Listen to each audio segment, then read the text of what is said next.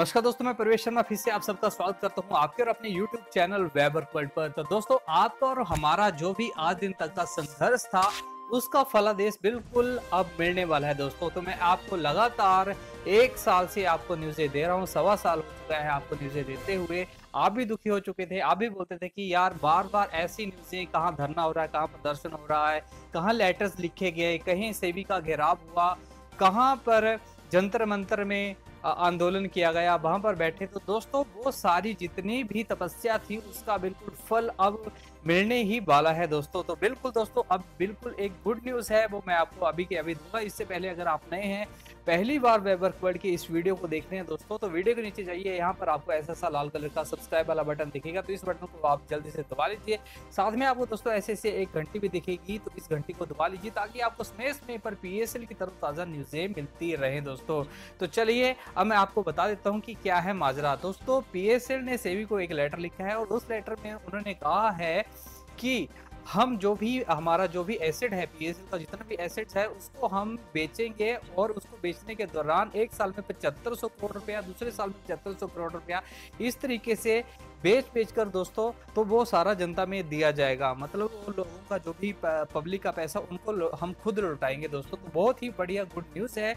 अगर पीएसएल खुद अपना एसेट बेचती है, हम पहले भी कहते थे कि पीएसएल खुद अपना एसेट बेचे, खुद देनदारियाँ दे तो बहुत जल्दी ये काम हो सकता है। लगभग पाँच छः महीनों में सारी की सारी देनदारी, जो भी पचास हज़ार करोड़ रुपए की बताई जाती है, वो तीन चार महीनों में पीएसएल खुद निपटा सकती है, क्योंकि लोढ़ा कमेटी और सेबी लगातार कितने समय से तीन चार सालों से लगी हुई है, लेकिन अभी तक कोई भी देनदारी नहीं हुई है और समय गुजरता जा रहा है और बहुत ज़्यादा रोष जनता में फैल तो चलिए अब मैं आपको ले चलता हूँ डेस्कटॉप पे। वहाँ पर जो बड़े बड़े इंडिया के बड़े बड़े चैनल हैं, टीवी चैनल हैं, मीडिया चैनल हैं, उनमें भी इस रिपोर्ट को दिखाया गया है और सेबी ने खुद अपनी वेबसाइट के ऊपर भी ये नोटिस दिया हुआ है। तो चलिए मैं आपको बता देता हूँ दोस्तों।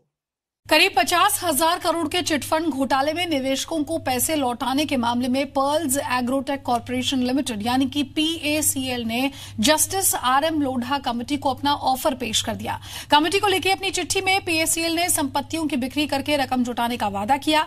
पीएसीएल ने तीन साल में बीस हज़ार करोड़ रुपये लौटाने का ऑफ़र दिया। इसमें पहले साल में कम से कम पिचहत्तर करोड़ रुपये और दूसरे साल भी पिचहत्तर करोड़ रुपये लौटाने का वादा किया। सभी ने पीएस पीसीएल ऑफ़र पर, काउंटर ऑफ़र के लिए प्रस्ताव मांगा और इसके लिए 21 जून तक का वक्त दिया गया है।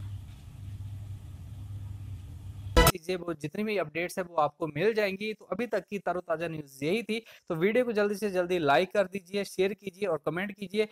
तो दोस्तों, जल्दी से इस वीडियो को शेयर कीजिए अपने बाकी साथियों के साथ और बने रहिए वेबवर्क वर्ल्ड के साथ सबसे पहले लेटेस्ट न्यूज़ पाने के लिए और सब्सक्राइब कर लीजिए इस चैनल को ताकि आपको मिलती रहे पीएसएल की ताज़ा जानकारियाँ और इस घंटी वाले आइकन को भी दबा लीजिए ताकि आपको नोटिफिकेशन मिलती रहे।